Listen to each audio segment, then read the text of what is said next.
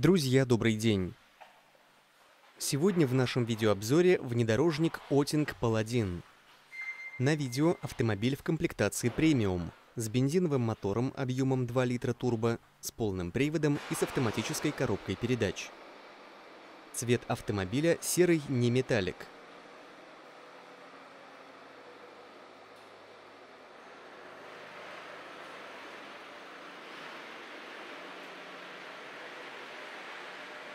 Диски литые 18-дюймовые с шинами размерностью 255 на 60, задние тормоза дисковые.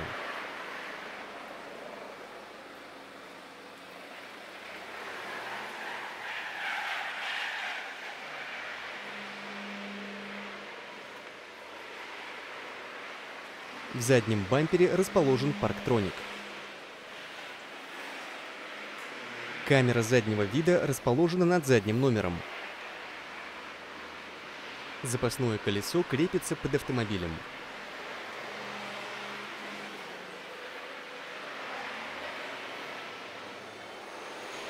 Рейлинги окрашены в черный цвет.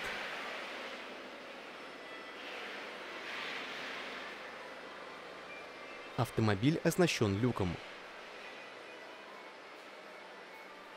Боковые зеркала окрашены в цвет кузова, а ручки дверей с хромированной отделкой.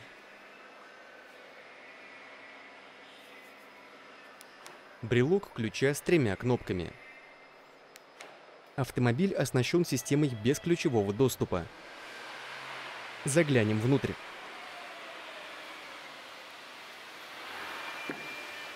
Посмотрим на карту передней двери и водительское место. В оформлении интерьера использовано два цвета – коричневый и бежевый. Рулевое колесо многофункциональное с кожаной отделкой – Обивка сидений выполнена из перфорированной кожи.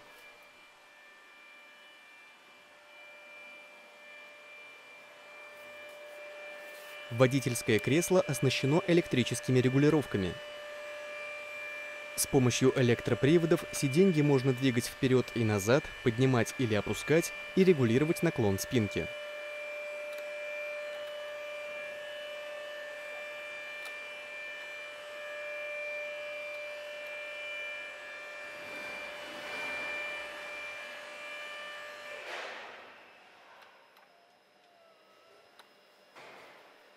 Водительское кресло оснащено электрической регулировкой поясничного подпора. Память электропривода сиденья не предусмотрена. Включим автомобиль с помощью кнопки «Старт-стоп». Автомобиль оснащен цифровой панелью приборов.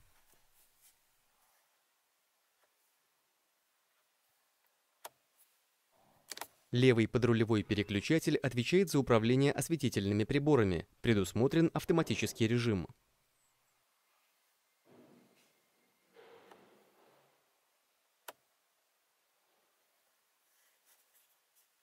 Включим габаритные огни, ближний свет и противотуманные фары.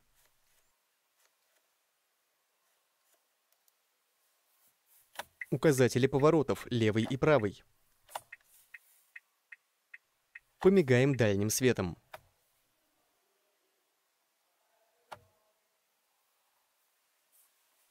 Аварийная сигнализация. Выйдем из автомобиля и осмотрим автомобиль детально с включенными световыми приборами. Боковые зеркала с повторителями указателей поворотов. Снизу расположены камеры системы кругового обзора.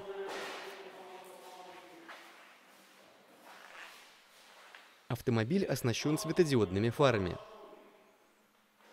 Передние противотуманные фары галогенные. Передний парктроник не предусмотрен.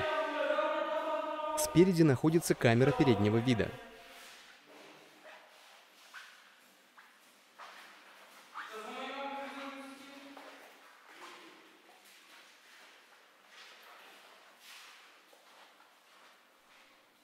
Автомобиль оснащен подножками. Задние стекла с заводской тонировкой. Клиренс автомобиля составляет 215 мм.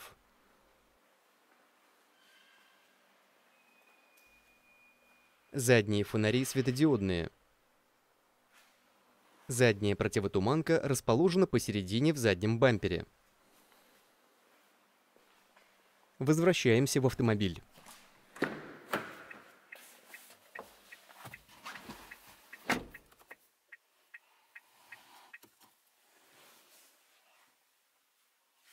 Кнопки управления центральным замком. В этом положении джойстика активируется система электроскладывания боковых зеркал.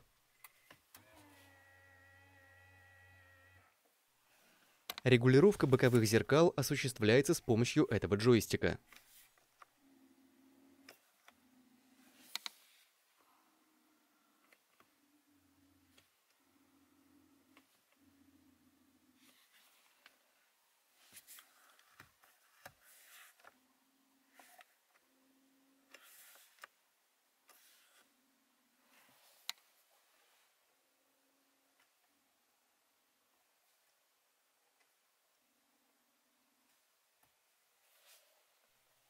Блок управления передними и задними электростеклоподъемниками. Только водительский стеклоподъемник с доводчиком.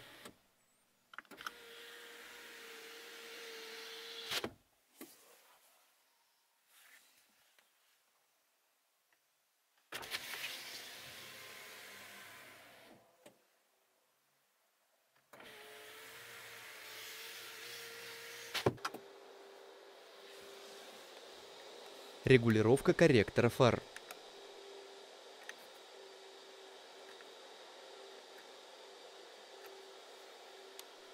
Кнопка включения системы помощи при движении по склону.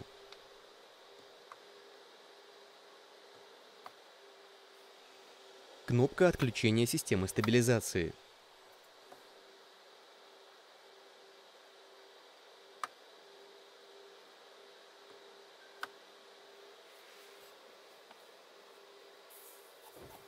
Правый подрулевой переключатель отвечает за управление передними и задними дворниками. Автоматический режим не предусмотрен.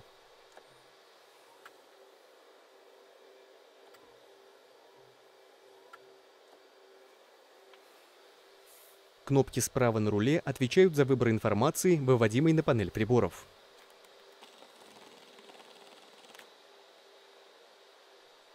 На дисплей можно вывести информацию маршрутного компьютера, индикацию системы мониторинга давления в шинах и настройки автомобиля.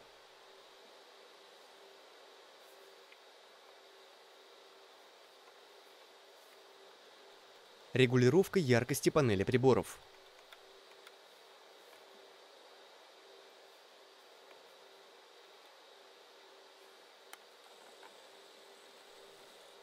Кнопки справа на руле отвечают за управление круиз-контролем.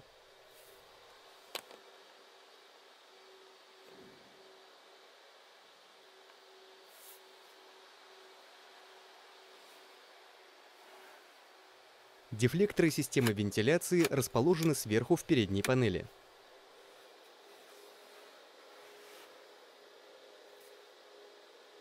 В автомобиле установлена мультимедийная система с цветным сенсорным дисплеем размерностью 12 дюймов. В составе акустической системы 6 динамиков. Мультимедийная система поддерживает радио. Мультимедийная система поддерживает Bluetooth аудио, коммуникацию со смартфоном, воспроизведение файлов из встроенной памяти и присоединение внешних устройств через разъемы USB и AUX. Мультимедийная система поддерживает функцию The-Link. Это дает возможность подключить к автомобилю смартфон и вывести на дисплей сертифицированные приложения. Мультимедийная система поддерживает hands-free. Это позволяет говорить и управлять телефоном без помощи рук.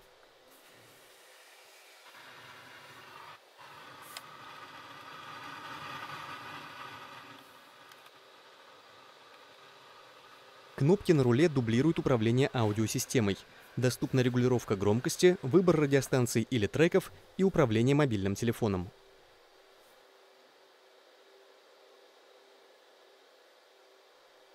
Автомобиль оснащен встроенной навигационной системой.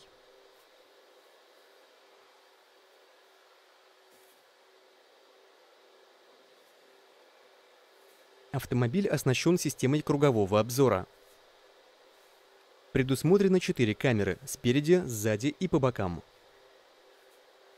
На дисплей можно вывести виртуальную проекцию автомобиля и пространство вокруг него.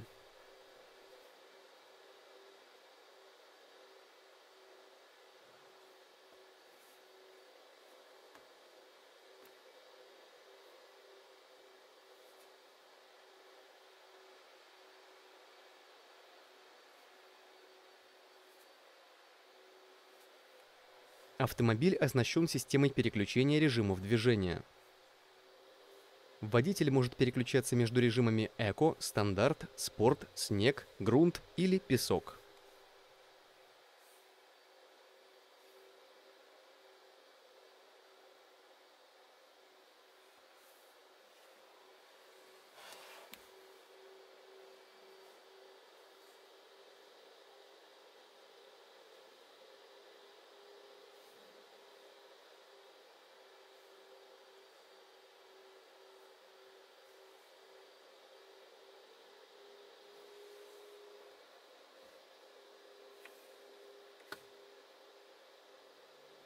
Климат-контроль однозонный.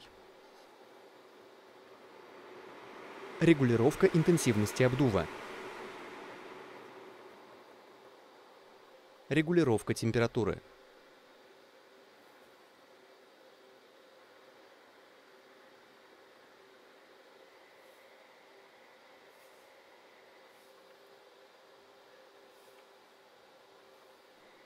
Выбор направления обдува.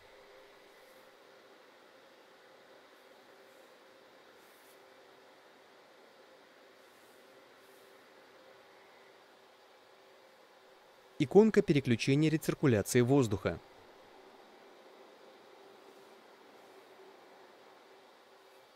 Иконка АЦ отвечает за включение кондиционера. Иконка включения электрообогрева заднего стекла и боковых зеркал.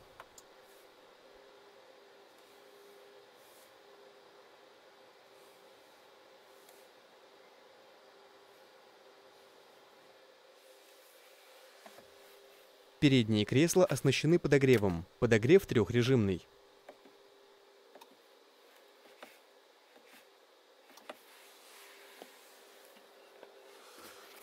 Потолок серого цвета. Водительский противосолнечный козырек с макияжным зеркалом с подсветкой. В потолке предусмотрено освещение для водителя и пассажира.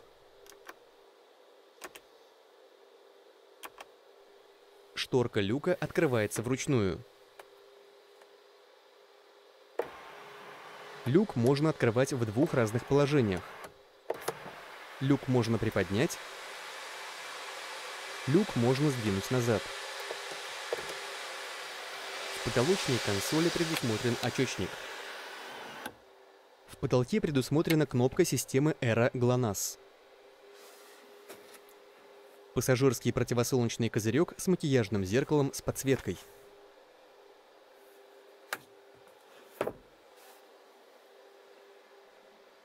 Посмотрим на второй ряд сидений. Он оснащен тремя подголовниками.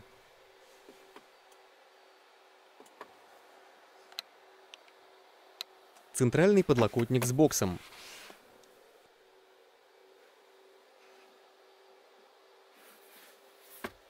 В центральном тоннеле предусмотрены подстаканники.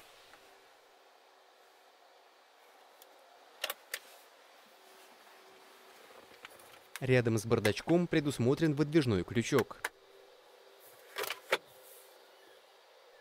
Бардачок без подсветки отделан пластиком. Под центральной консолью со стороны пассажира предусмотрена розетка на 12 вольт.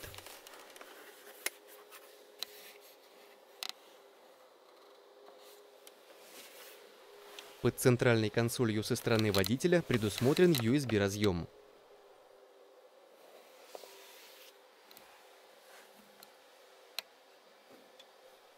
Кнопка включения системы помощи при развороте.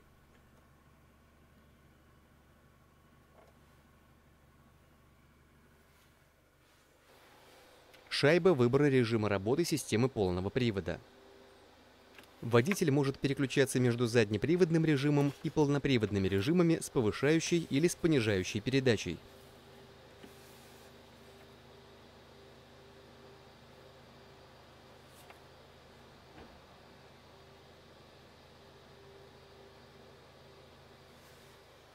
Кнопка включения блокировки заднего дифференциала.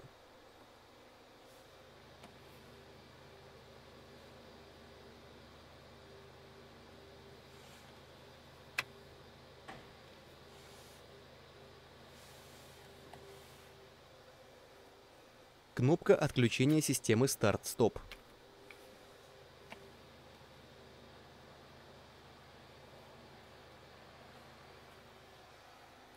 Ручной тормоз электрический с функцией автохолд.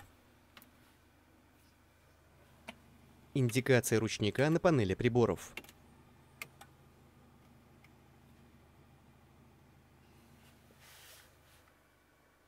Коробка передач автоматическая восьмиступенчатая.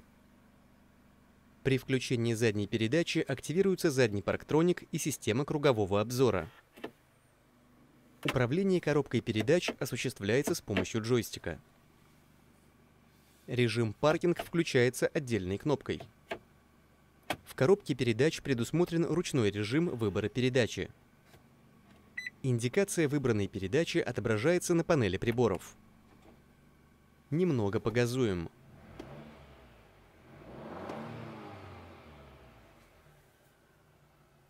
Теперь перейдем к осмотру второго ряда сидений.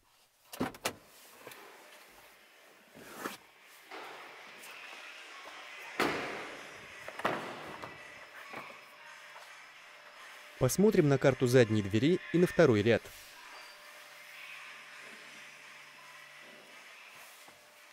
Оценим, как выглядит передняя приборная панель.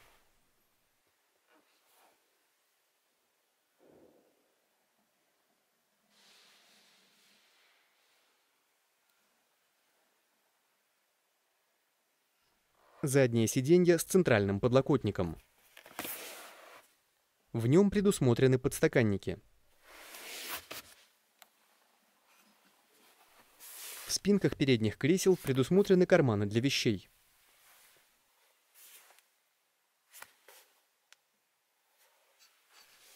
Между передними креслами предусмотрены дефлекторы вентиляции.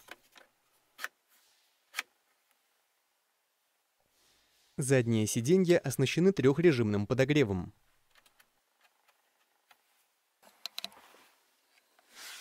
Для пассажиров предусмотрен USB-разъем.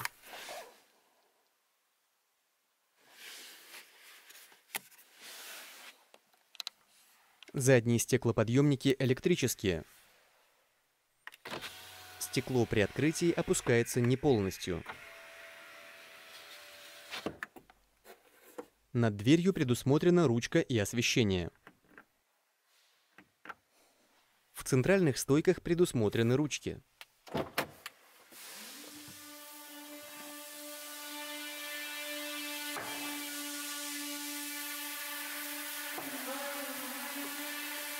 Теперь перейдем к осмотру багажника. Объем багажника составляет 1000 литров. В оснащении багажника предусмотрены крючки для крепления грузов и розетка на 12 вольт. Боковины багажника отделаны пластиком, а пол ворсом. В правой боковине предусмотрена ниша с набором инструментов.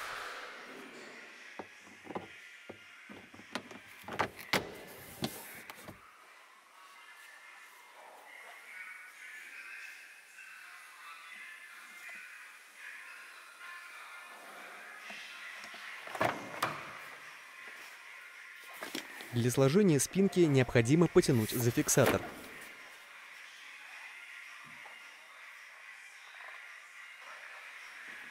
Задние сиденья складываются в соотношении 60 на 40.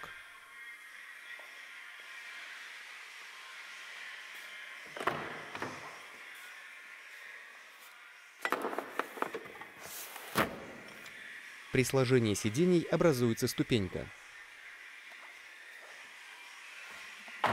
Объем багажника при сложенных сиденьях составляет 1643 литра. Для закрытия багажника предусмотрена ручка.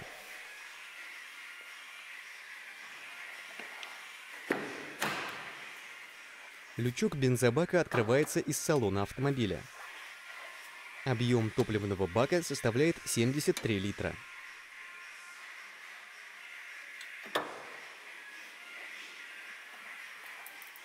Теперь заглянем под капот.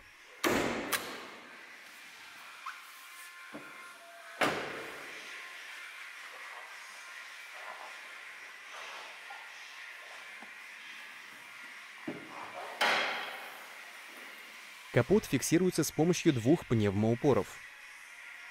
Крышка капота отделана шумоизоляцией. Двигатель турбированный, бензиновый, четырехцилиндровый, объемом 2 литра, с отдачей 218 лошадиных сил.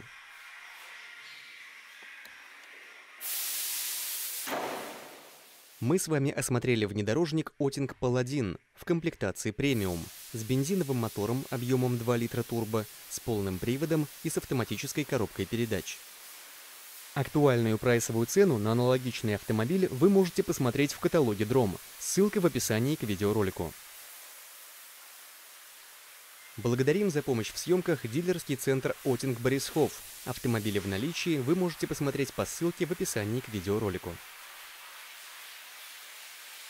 Друзья, ну вот наше видео и подходит к концу. Не забывайте ставить лайки и писать в комментариях, понравилась ли вам машина и какие еще автомобили вы хотели бы увидеть на обзоре. И самое главное, подписывайтесь на канал Дром. До скорых встреч!